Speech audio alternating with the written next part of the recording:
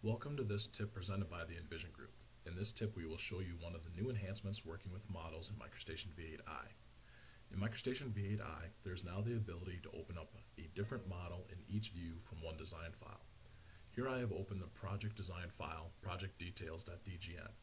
The model file has an active model, which is print sheet. I'm Going to open up the models dialog box. Here you can see print sheet is the active model. There are additional models within this design file. We're going to start by going to the View 1 pull down for view attributes. From this pull down here, you may need to expand the view setup. When you expand view setup, you have the ability to select different models. What I'm going to do is select typical slotted drain detail as an additional model, and then this model is now open in view 1. Then in view 3, I'm going to select another model. I'm going to go down to the models view setup and select pipe under drain outfall detail. Now in view 3, the active model is the pipe under drain.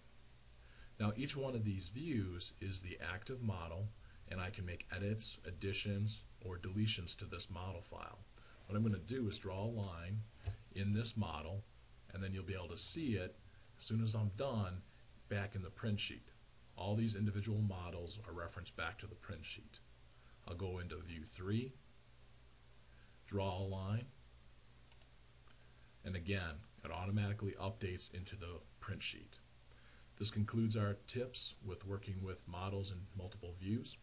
For more information and tips, go to our website, envisioncad.com. Thank you.